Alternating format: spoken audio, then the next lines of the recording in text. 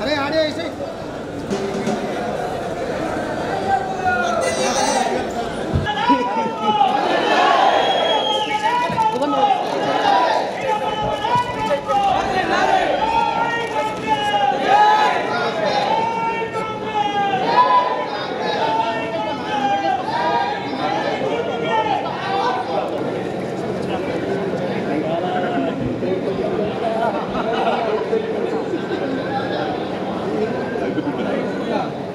ముఖ్యంగా నాతోటి కాంగ్రెస్ పార్టీ కార్యకర్తలకు మీడియాకు ఎలక్ట్రానిక్ మీడియా ప్రింట్ సోదరులందరికీ కూడా హృదయపూర్వక నమస్కారాలు. లేట్ అయినా కానీ క్షమించాలి. కొంచెం లేట్ అయింది కానీ లేట్ అయినా లేటెస్ట్గా వచ్చినాం.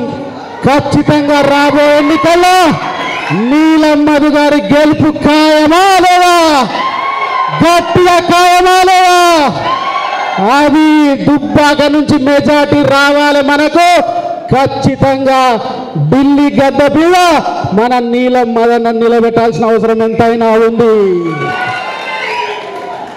నేను ఒకటే చెప్తున్న కార్యకర్తలకు ఇది పరీక్షా సమయం మనకు. నాతో పాటు మీ అందరికి కూడా పరీక్షనే ప్రతి బూత్ లెవెల్ నాయకుడు బూతుల్నే ఉండాలి నేను సిద్దిపేటలో తిరుగుతా గజ్వెల్లో తిరుగుతా. దౌలతాబాద్ తిరుగుతా అంటే కలవదు. మీ బూతులనే ఈ రోజు నుంచి పదమూడవ తారీఖు వరకు మీ బూతులలో ఉండాలి ఎవరైనా నాయకుడు. రేపొద్దున మీకు ఎంపీ టికెట్ ఎంపీటీసీ టికెట్ రావాలన్నా జెడ్పీటీసీ టికెట్ రావాలన్నా నామినేషన్ పదవులు రావాలన్నా ఇప్పుడు వచ్చే ఓట్ల ఆధారంగానే మీకు పదవులు వస్తాయి తప్ప ఎవరో రికమెండేషన్లతోటి రావు. ఖచ్చితంగా ఇది నేను పాటించి తీరుతా. నేను కూడా మీకు చెప్తున్నా ముత్యం రెడ్డి గారు ప్రాతినిధ్యం వహించిన తోగుట గ్రామంలో ఇరవై ఎనిమిది వందల ఓట్లున్నాయి ఆ సర్పంచ్? ఆ గ్రామానికి కూడా నేను మెజార్టీ రాకపోతే ఇక ఎప్పుడు ఎన్నికలలో పోటీ అని మీకు చెప్తా ఉన్నా.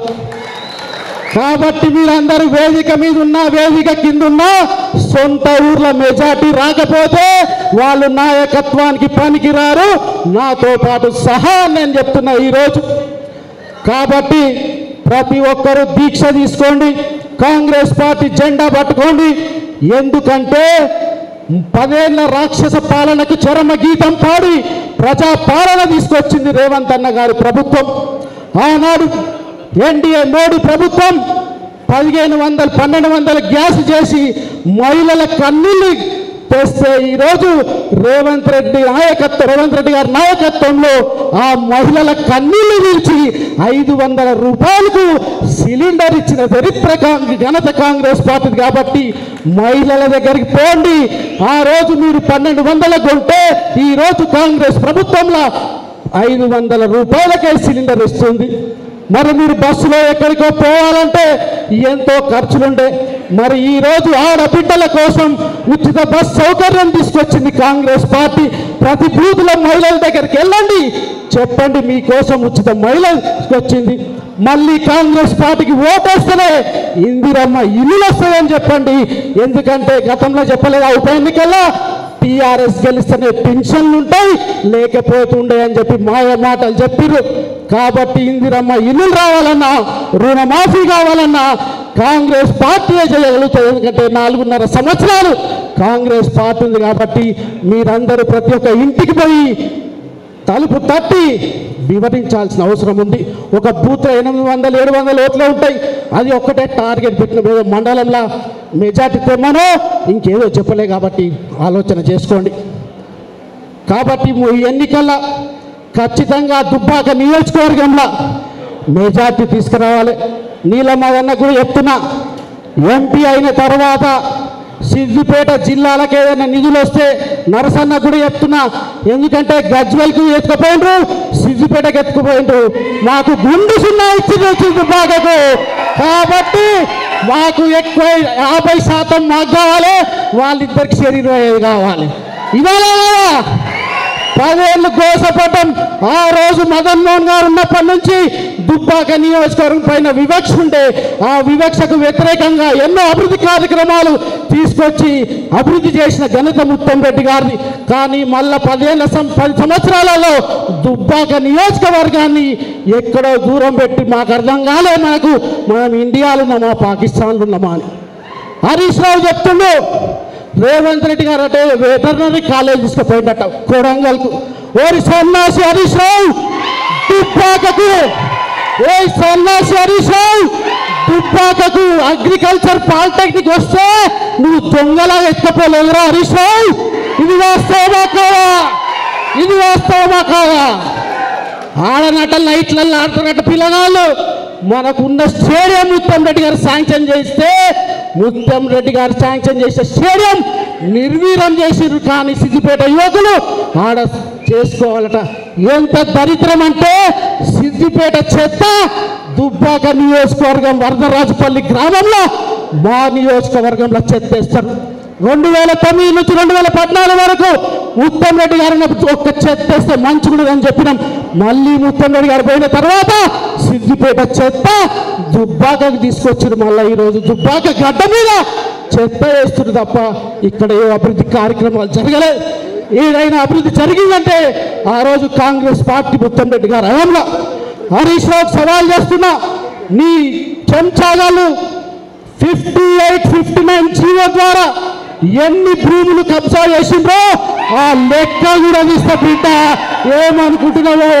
మొన్నటి వరకు ఒక లెక్క ఈ రోజు నుంచి ఒక లెక్క. హనుమంతాన్ని అన్నాడు ఆయనను తోటపల్లికి పంపించాలని నేను అంటున్నా హనుమంతన్నా చెంచాలు కూడా జైలుకి పంపించాలని ఇస్లాంని ఏమన్నాను ఆ రోజు?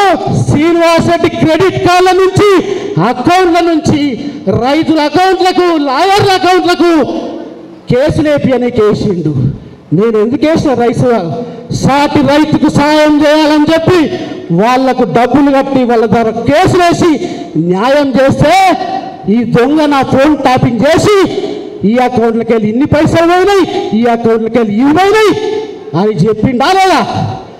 దొంగ దొరికిందా లేదా? ఇది ట్యాపింగ్ నేరమా కదా! మరి ఏడికి పోవాలిరా చెంచల్ కూడా జైలుకు పోవాలి! హరీష్ రావు నీకు ఎవ్వడు భయపడడు ఇంకోలో చెప్పి చే ఫుట్ బుల్లెట్ అట.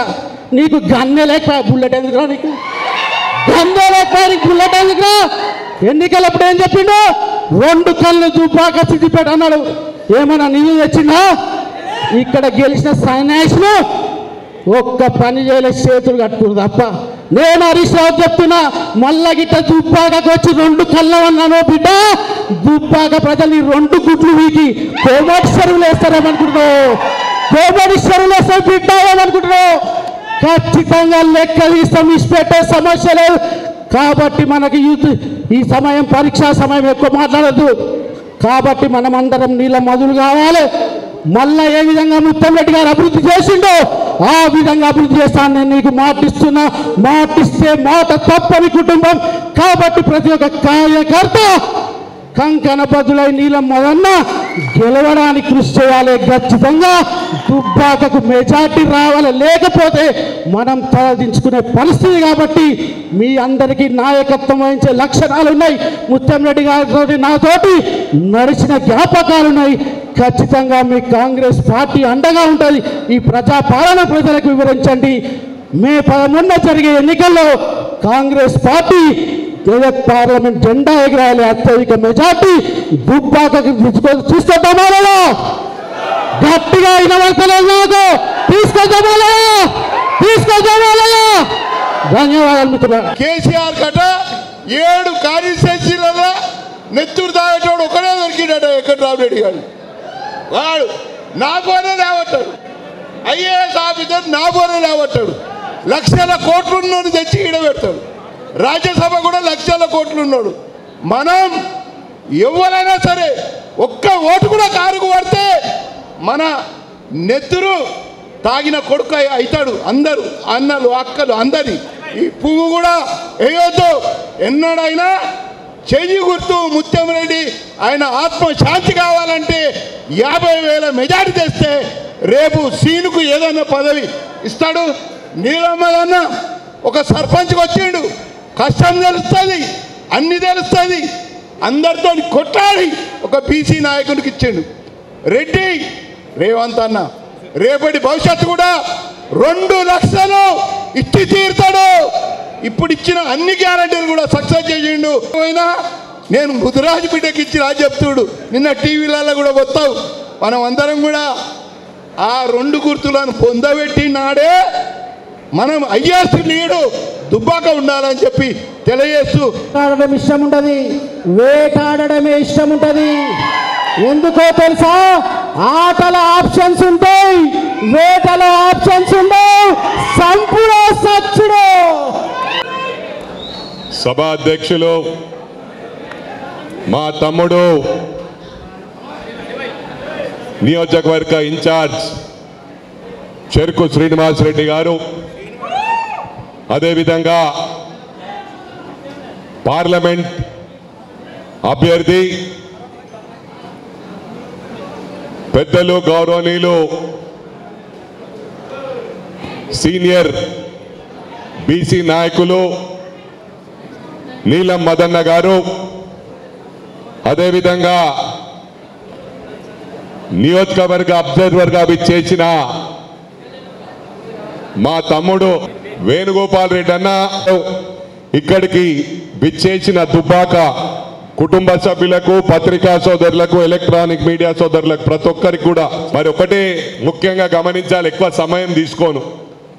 నా గురువు చిరకాలపు గురువు స్వర్గీయ చెరుకు ముత్యం రెడ్డి గారు. మరి ముఖ్యంగా గమనించాలి ఉమ్మడి రాష్ట్రంలో ఉమ్మడి రాష్ట్రంలోనే ఈ దుబ్బాకుల జరిగిన అభివృద్ధి మరి నేను ఎక్కడ కూడా విజయవాడ వెళ్ళినా వైజాగ్ వెళ్ళినా ఎక్కడ కూడా చూడలే. ఆ సమయంలో డబుల్ రోడ్లు సెంటర్ లైటింగ్లు ఈ విధంగా ఎవరైనా పనిచేసిరా అని చెప్పి మిమ్మల్ని అడుగుతా ఉన్నా. దుబ్బాక ప్రజలకు విజ్ఞప్తి చేస్తా ఉన్నా గుండె మీద చెయ్యి వేసుకొని ఆత్మ పరిశీలన చేసుకోవాలని చెప్పి సందర్భంగా మనవి చేస్తా ఉన్నా. నేను ఎప్పుడు కూడా బాధపడేవాని అరే చెరుకు శ్రీనివాస్ రెడ్డిని ఎందుకు గెలిపిస్తలేరు? ఒక ముత్యమన్న పేరు చెప్తే ఈయన ఇంట్లో కూర్చుంటే గెలిపియాల ఇది వాస్తవమా కాదా అని చెప్పి సందర్భంగా తెలియజేస్తా ఉన్నా. మరి ఎక్కడ పొరపాటు జరిగిందో మన అమాయక ప్రజలను ఎప్పుడైతే ఈ టిఆర్ఎస్ ప్రభుత్వం వచ్చిందో పైసల మయం చేసి ఆగం చేస్తున్నారు మనని రెండు వేల రూపాయలకు మూడు వేల రూపాయలకు మన జీవితాలు అమ్ముకుంటామమ్మా. మహిళా సోదరిమణులకు నేను విజ్ఞప్తి చేస్తా ఉన్నా మూడు వేలకు ఏమొస్తుంది తల్లి? కొంతమందికి ఐదు వందలకే ఓట్లు వేస్తున్నారు. ఐదు వందల కంటే రోజుకు ఆటాన కూడా పడదు తల్లి. ఈ ఐదు సంవత్సరాలు ఆటాన కూడా పడది. యాభై పైసలు కూడా పడది. దానికి మన ఓటు అమ్ముకుంటున్నాం. మన అమాయక ప్రజలను మొత్తం గంగల కలిపి వారు ఏ విధంగా లక్షల కోట్లకు ఎదిగినరో ఆలోచించవలసిన అవసరం ఉంది. ఒకటి విజ్ఞప్తి చేస్తా ఉన్నా ఇప్పుడే మా తమ్ముడు చెప్పిండు. ఇరవై నాలుగు మంది కాంగ్రెస్ ఎమ్మెల్యేలు టచ్లు ఉన్నారని మాజీ గౌరవ ముఖ్యమంత్రి కేసీఆర్ గారు చెప్తున్నారు. కేసీఆర్ గారు మీరు మారరా? మారాలా? ఎందుకంటే నేను ఆ పార్టీలు ఉన్నప్పుడు కూడా చెప్పినా నీ కొడుకు కూడా చెప్పినా మారండ్రీ.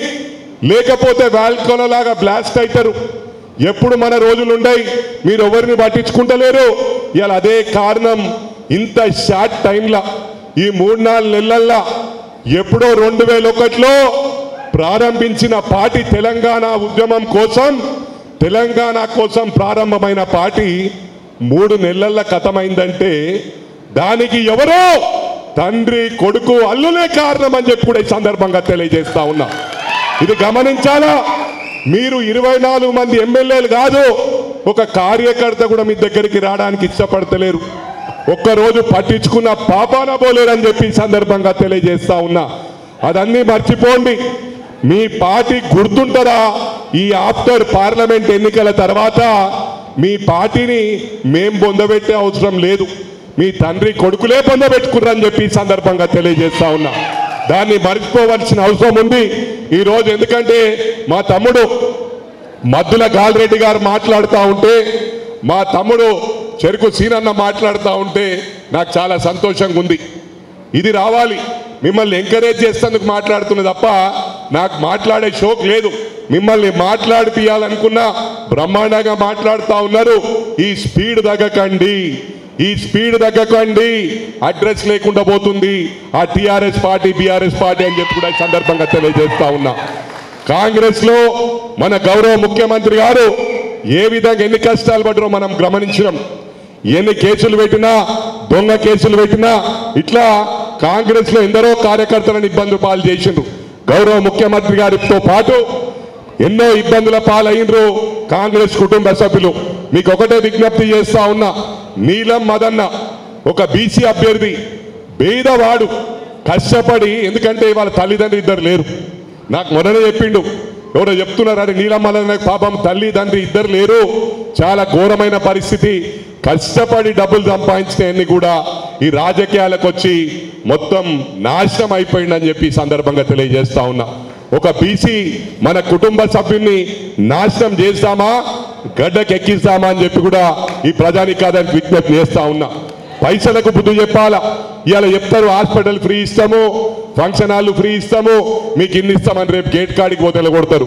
ఈ బీసీ బిడ్డ మీ ఇంటికి వచ్చి పనిచేస్తాడు మరి అదే విధంగా ముదిరాజ్ కుటుంబ సభ్యులకు తెలియజేస్తా ఉన్నా. ఎందుకంటే నేను ఒక ఫార్వర్డ్ క్లాస్ పిల్లోడిలా చెప్తా ఉన్నా. మీ కుటుంబ సభ్యులు నాకు ఎందుకంటే కులం ఫీలింగ్ లేదు. కానీ మీకు ఏమైనా ప్రేమ ఉంటే ఇవాళ మ- మా మెదక్ కాన్స్టిట్యున్సీలో కూడా మెజారిటీ ముదిరాజులే ఉన్నారు. సిద్దిపేటలో మెజారిటీ ముద్దు ముదిరాజులే ఉన్నారు. అదేవిధంగా విధంగా మెజారిటీ మీ మీరే ఉన్నారు. నేను మీ అందరికీ విజ్ఞప్తి చేస్తా ఉన్నా ఎక్కడ కూడా బీసీలందరూ ఒకటి కావాలి మరి ముదిరాజ్ అందరూ మీ సత్తా చూపించాలని చెప్పి కూడా సందర్భ ఈ సందర్భంగా తెలియజేస్తా ఉన్నా. ముత్యమన్న పని చేసిండు. సీనన్న పని చేసిండు. అయినా కూడా సీనన్నను ఎన్నిసార్లు ఓడగొట్టిండ్రో మీరు గుండె చేసుకొని ఆత్మ పరిశీలన చేసుకోండి. అక్కడ ముత్యమన్న ఆత్మ శాంతించాలంటే ఈ బీసీ బిడ్డను గడ్డకెక్కిండ్రి. మీకు అండగా మేము ఉంటాం. మీరు అర్ధరాత్రి పిలిచిన నర్సన నర్సారెడ్డి ఎలక్షన్ అన్న ఈడ అంజనేయులు ఈడ హరికృష్ణ మన మా సోమేష్ అన్న అదేవిధంగా గాలిరెడ్డి మేమందరం మీకు అండగా ఉంటాం. అర్ధరాత్రి పిలిచినా కూడా మీకు ఎలాంటి సమస్య ఉన్నా అది మా సమస్యగా పరిష్కరిస్తామని చెప్పి మీకు మరోసారి ప్రామిస్ చేస్తా ఉన్నా. ఈసారి దుబ్బాక్లో మెజారిటీ వస్తే హండ్రెడ్ పర్సెంట్ దుబ్బాకను నేను అవసరమైతే అడాప్ట్ చేసుకొని మా మైనంపల్లి సోషల్ సర్వీస్ ఆర్గనైజేషన్కి వెళ్ళి మొన్ననే చెప్పిన సిద్దిపేట కానీ గజ్వేల్ కానీ ఎందుకంటే దుబ్బాక్ కూడా మూడు నియోజకవర్గాల్లో నేను మెదక్ ఎంత చేస్తానో మీకు కూడా అంత చేస్తా అని మీకు ప్రమాణపూర్వకంగా తెలియజేస్తా ఉన్నా. మీకు అండగా ఉంటా. మీరు అర్ధరాత్రి పిలిచినా వస్తా. ఎప్పుడు పిలిచినా పలుకుతా. గౌరవ ముఖ్యమంత్రి గారి దగ్గరికి వెళ్ళి ఈ మూడు నియోజకవర్గాలే కాదు టోటల్ ఏడు నియోజకవర్గాలు.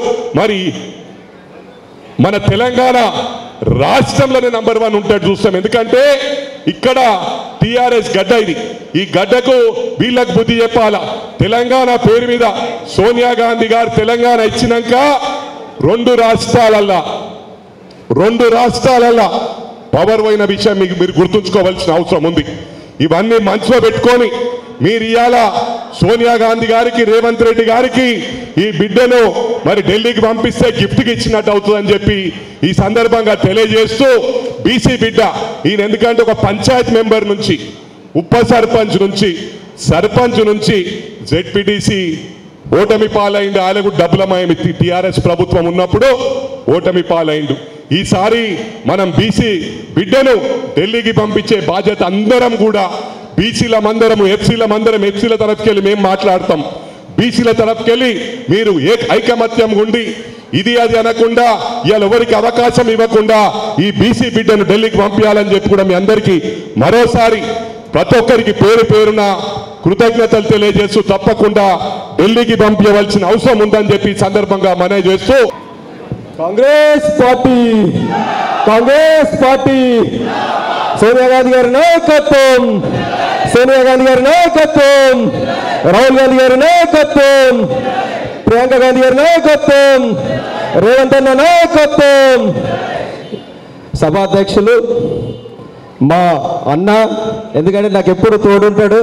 ఏ అర్ధరాత్రి ఫోన్ చేసినా సినన్న ఇట్లా రేపు దుబాకా నుంచి ఇట్లా మనల్ని వస్తున్నా అంటే నువ్వు వాళ్ళని జైన్ చేసుకోయే జైన్ చేసుకో అని చెప్పి అన్ని తోడుండి చెప్పే వ్యక్తి మా అన్న సీనన్న.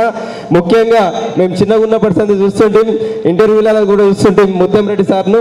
ముత్తంరెడ్డి సార్ ఈ ఈ జిల్లాకే కాదు మొత్తం ఉమ్మడి రాష్ట్రంలోనే ఆదర్శంగా ఉండే వ్యక్తి ముత్తంరెడ్డి గారి కొడుకు ముద్దు బిడ్డ సీనన్నకు ఆ కడుపులో పుట్టిన ఆ అన్నకు కూడా మేము పాదాభివందనలు నిలుస్తున్నా అదేవిధంగా ఆ అన్న మైనంపల్లి హనుమంత్ అన్న ఈరోజు ఒక హనుమంతుడు హనుమంతుడు ఎట్లయితే ఉంటాడో నాకు హనుమంతుని లెక్క ఉండి హనుమంతుని లేకుండా నీలమ్మదును ఆ సంజీవ పర్వతాన్ని ఎట్లెత్తుకొని హనుమంతుడు వస్తాడో అట్లా నీలమ్మదును భుజం మీద ఎత్తుకొని నన్ను ముందుండి నడిపిస్తున్న మా హనుమంత్ అన్నకు పాదాభివందనాలు తెలియజేస్తున్నా. నీ నీ కొడుకులాగా ఉంటానని చెప్పి తెలియజేస్తున్నా నా ఎంపీ అయినా కూడా. అదేవిధంగా మా DCC president Tumkunta Narasimha Reddy ex MLA గారు అన్న ఎన్నో సేవా కార్యక్రమాలు ఇప్పటికి కూడా కేసీఆర్ ఏమో ఫామ్ హౌస్లో వండుకుంటాడు ఎమ్మెల్యే కానీ మా అన్న పొద్దున్న లేస్తే రాత్రి వరకు పేద కష్టాలలో పేద ప్రజల మధ్యలోనే ఉంటుంటాడు పొద్దున్న లేసి నరసన్న. అదేవిధంగా ఎలక్షన్ బాపు ఎలక్షన్ రెడ్డి బాపు.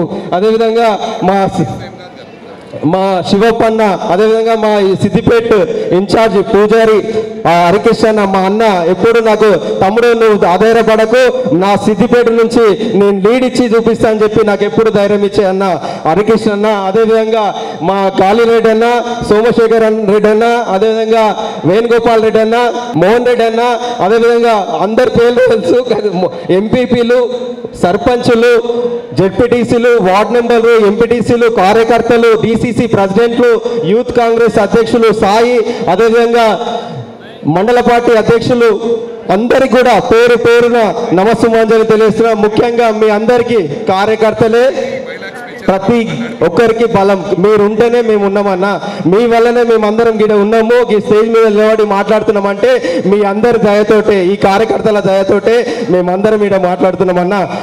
అక్కలకు అన్నలకు చెల్లెలకు తమ్ముళ్ళకు అందరూ కూడా పేరు పేరున నమస్సుంజమాంజలి అన్న ఎందుకంటే మూడు గంటల నుంచి ఈ కార్యక్రమం ఇంత శ్రద్ధగా వింటూ ప్రతి ఒక్క నాయకులు గతం నుంచి ఇక్కడ ఏమేం చేసింది కాంగ్రెస్ పార్టీ ఏమేం చేసింది ముత్తంపేట అంకులు ఏమేమి చేసింది అన్ని కూడా చెప్పారు. ఇప్పుడు మేము చెప్తున్న ఎంపీగా గెలిస్తే ఎంపీగా గెలిస్తే కూడా ఈ ప్రాంతం నుంచి ఇక్కడ దుబాక కాన్స్టెన్సీలో సీనన్నను సీనన్న క్యాంప్ ఆఫీస్ ఉంటుంది ఇన్ఛార్జిగా ఉంటాడు అక్కడికి వచ్చి మీ సమస్యలన్నీ ప్రతి వారంలో ఒక రోజు ఇక్కడనే దుబాకలో వచ్చి కూర్చొని మా నిధులు తీసుకొని ఈ ప్రాంతాన్నంతా అభివృద్ధి చేసి చూపిస్తామని చెప్పి తెలియస్తున్నాం కాంగ్రెస్ పార్టీ మాట ఇస్తే కట్టుబడి ఉంటుంది. ఎందుకంటే తెలంగాణ ఇచ్చిన తల్లి సోనియా గాంధీ. ఇచ్చిందా లేదా? ఇచ్చిందా లేదా తెలంగాణ? సోనియా గాంధీకి రుణం తీసుకోవాలా లేదా?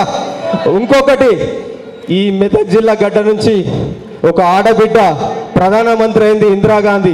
ఆ గడ్డ నుంచి ఒక బీసీ బిడ్డకు ఒక బడుగు బలహీన వర్గాల బిడ్డకు ఒక పేదింటి బిడ్డ మీ ఇండ్ల మధ్యలోకించి మీ పేద కుటుంబంలోకించి ఈ స్థాయికి ఒక వార్డు నెంబర్ నుంచి ఒక ఎంపీ దాకా పోతుందంటే మీ మధ్యలోకించి మీ కొడుకు పోతుండ అనుకోండి అన్న మీ కొడుకు మీ ఇంట్లో మీ తమ్ముడు పోతుండని చెప్పి మీరందరు దీవించండి నాకు ఓటేసి పార్లమెంట్కి పంపించే బాధ్యత తీసుకోవాలని చెప్పి తెలియజేస్తున్నా. ఆ ఇంద్రమ్మ ఇంద్రమ్మ ఆ రోజు మెదక్ నుంచి ఎట్లయితే గెలిచిందో నీలమ్మది కూడా ఈ ఇంద్రమ్మ పరిపాలించిన గడ్డ నుంచి మెదక్ గడ్డ నుంచి నీలమ్మది కూడా పార్లమెంట్కి పోతే రాహుల్ గాంధీ గారు సోనియా గాంధీ గారు కూడా ప్రియాంక గాంధీ గారు ఏం చెప్తారంటే మా అత్తమ్మ పోటీ చేసి అక్కడ నుంచి ప్రధానమంత్రి అయితే అక్కడ నుంచి వచ్చిన బిడ్డ ఒక పడుగు బలహీన వర్గాల బిడ్డ ఒక పేదల బిడ్డ వచ్చిండు. ఆ పేదల బిడ్డకు భారీ నిధులు ఇచ్చి ఆ- ఆ జిల్లాను బాగా డెవలప్ చేయాలని చెప్పి చెప్తారన్న వాళ్ళకు రుణపడి ఉంటాము. మన కాంగ్రెస్ పార్టీ వాళ్ళకు రుణం తెచ్చుకునే రోజు వచ్చింది. ఈ రోజు పేదింటి బిడ్డలకు కాంగ్రెస్ పార్టీ పేదల గురించే బతుంది ఎందుకంటే మీకు చెప్తున్నా గతంలో రెండు పార్టీలు అధికారంలో ఉన్నాయి. ఏదేది ఉంది ఇక్కడ బీఆర్ఎస్ ఉండే పదేళ్ళు అక్కడ బీజేపీ ఉంది. మరి ఎంతమందికి రేషన్ కార్డులు వచ్చినాయి అన్న? ఈ పదేళ్ళలో ఎంతమందికన్నా ఒక కొత్త రేషన్ కార్డులు వచ్చినాయి అన్న? ఒక్కరికన్నా. మన రేవంత్ అన్న ప్రభుత్వం వచ్చినాక ప్రజాపాలన వచ్చినాక ఆరు గ్యారెంటీలలో ఐదు గ్యారెంటీలు నెరవేరుస్తా అని చెప్పి ఆ- ఐదు గ్యారెంటీలు నెరవేర్చిండాలి. లేడా చూడండి మీరు ఫస్ట్ ఫస్టే ప్రమాణ స్వీకారం చేసుకున్నాక గ్రామ పంచాయతీలలో గ్రామ సభ పెట్టి ఆరు గ్యారంటీల ఫామ్ ఇచ్చి రేషన్ కార్డు ఉందా లేదా అని రేషన్ కార్డు లేని వాళ్ళకు రేషన్ కార్డు రాసుకోమన్నాడు. పెన్షన్ లేని వాళ్ళకు పెన్షన్ రాయమన్నారు. ఇంద్రమ్మ ఇల్లు లేని వాళ్ళకి ఇంద్రమ్మ ఇల్లు రాయమన్నారు. గ్యాస్ సిలిండర్ లే గ్యాస్ సిలిండర్ సబ్సిడీ రాని వాళ్ళకు సిలిండర్ రాయమన్నారు. రాసి రాలేరా ఆరు గ్యారంటీలు నింపి రాలేరా? నింపిన దాంట్లో వంద రోజులలో ఇస్తున్నామా లేదా? అక్క అక్క చెల్లె ఉచితంగా బస్ ప్రయాణం చేస్తురా లేదా? కాంగ్రెస్ పార్టీని మాట ఇచ్చి చేసిందా లేదా? రెండు వందల యూనిట్ల కరెంటు ఎంతమందికి ఉచితంగా వస్తుంది చేతులు ఇప్పుడు అన్న ఇంతమందికి నెలకు ఎనిమిది వందల రూపాయలు ప్రభుత్వం కడుతుందా లేదన్న కాంగ్రెస్ పార్టీ కడుతుందా లేదన్నా ఇది గుర్తుంచుకోండి అన్న ఓటు పోలింగ్ బూత్లకు పోయినప్పుడు కాంగ్రెస్ పార్టీ మాట ఇస్తే మాటకు కట్టుబడి ఉంటుంది. మాట మీద ఉంటుంది కాబట్టి మీరందరూ కూడా చేతి గుర్తు ఓటేసి గెలిపించాలి రేపు నేను గెలిచినాక పార్లమెంట్లో కూడా కాంగ్రెస్ పార్టీ అధికారంలోకి వస్తుంది. ఉపాధి ఊమి ఉపాధి కూలీలకు కూడా నాలుగు వందల రూపాయలు మొన్ననే తూగుడల సభలో చెప్పిపోయిండు రాహుల్ గాంధీ. నాలుగు వందల రూపాయల కూలి పెంచుతా అని చెప్పి చెప్పిండు ఉపాధి హామీ పథకం కింద. చెప్పిండా లేదా? ప్రతి ఆడబిడ్డకు కూడా కేంద్రంలో కాంగ్రెస్ పార్టీ వస్తే ప్రతి ఆడబిడ్డకు కూడా లక్ష రూపాయలు ఉచితంగా ఇస్తా అని చెప్పి చెప్పిండు రాహుల్ గాంధీ గారు. రాహుల్ గాంధీ గారు కాంగ్రెస్ పార్టీ ఒకటే ఒకటి అందరినీ సమానత్వంగా చూసే పార్టీ కాంగ్రెస్ పార్టీ. చూస్తుందా లేదా కాంగ్రెస్ పార్టీ? మాకు రామ్ కావాలి రహీం కావాలి రాబర్ట్ కావాలి. రామ్ రహీం రాబర్ట్ అందరినీ కూడా సమానతంగా చూసుకునే పార్టీ కాంగ్రెస్ పార్టీ. కులాల మధ్యలో మతాల మధ్యలో సిచ్చు పెట్టదు. మా పార్టీ సమానత్వం గురించి కొట్లాడుతుంది. సమానత్వం కావాలంటది. బడుగు బలమైన వర్గాలకు బడు బహుజనులకు అందరికీ తోడుండే పార్టీ కాంగ్రెస్ పార్టీ. మీరు ఒక్కసారి ఆలోచన చేసి చేతి గుర్తు కోటేసి గెలిపేయాలి. ఈ మెదక్ జిల్లాలో అభివృద్ధి కార్యక్రమాలు గతంలో చెప్పిండు అన్న చెప్పిండు. రఘునందరావు ఇక్కడ ఎమ్మెల్యే గెలిచినప్పుడు నిరుద్యోగులకు నిరుద్యోగ బుద్ధి ఇస్తామని చెప్పి చెప్పిండంట. చెప్పిండు అన్న? ఇచ్చిండు అన్న? ఏర్పాటు ఇచ్చిండు అన్న? దుబాక ప్రజలారా? కానీ మీ నీలం మధు చెప్తుండు. మీ నీలం మధు ఎంపీ గెలిచినాక ఇక్కడున్న శ్రీనివాస్ రెడ్డి అన్నని ఇక్కడనే పెట్టుకొని అక్కడ ఉన్న దేశీయ రాష్ట్రీయ ఇండస్ట్రీలను తీసుకొచ్చి ప్రతి ఆరు నెలలకు ఒకసారి ఇక్కడ జాబ్ మేళ పెట్టించి ప్రతి యువతకు ఉద్యోగాలు ఇప్పించే బాధ్యత తీసుకుంటా అని చెప్పి తెలియజేస్తున్నాను? సీనన్న ఆధ్వర్యంలో తీసుకుంటా అని చెప్పి తెలియజేస్తున్నాను? ఒక్కసారి ఆలోచన చేసి ఓటేయండి అన్న. ఆలోచన చేసి చేతి గుర్తుకు ఓటేసి చేయండి మన ప్రభుత్వం ఉంది ప్రజా ప్రభుత్వం ఉంది ప్రజా పాలన నడుస్తుంది. ప్రజాపాలన నడుస్తుంది కాబట్టి మీరందరూ కూడా కాంగ్రెస్ కోటేసి గెలిపేయండి. మీకు తోడుగుంటా రుణపడి ఉంటా ఇంకొక అభ్యర్థి. ఇంకొక అభ్యర్థి ఎవరన్నా? వెంకటరామరెడ్డి. వెంకటరామరెడ్డి గురించి దుబ్బాక ప్రజలకు అందరూ తెలుసు కన్నా మల్లన్న సాగర్లో ఎనిమిది ఊళ్ళు పోతే గా రైతుల కన్నీళ్ళు కన్నీళ్ళు కనరాని వ్యక్తి వెంకటరామరెడ్డి అన్న. వాళ్ళ గోస చూడలేక వాళ్ళ గోస కన్నీళ్ళు చూసారన్నా ఎంత కన్నీళ్ళు పెట్టారు ఎంత గోస పెట్టి ఈడికెంచి పదకొండు వేల మందిని పక్క ఊళ్ళకి వెళ్ళగొట్టిన వ్యక్తి దుర్మార్గుడు వెంకటరామరెడ్డి అన్న. ఈరోజు చెప్తుండు సంగారెడ్డి వచ్చి నేను ఎంపీగా గెలిస్తే ట్రస్ట్ పెట్టి వంద కోట్లు పెట్టి సాయం చేస్తాడంట పేద ప్రజలకు. మనకి ఇప్పుడు ఎమ్మెల్సీ ఉన్నావు కానీ నువ్వు ఇప్పుడు ఎమ్మెల్సీగానే ఉన్నావు కానీ మనకి రెండేళ్ళలో ఎన్ని ఎంతమందికి సేవ చేసినవి? చేసినావా వెంకటరామరెడ్డి అన్న? చేసిండు అన్న?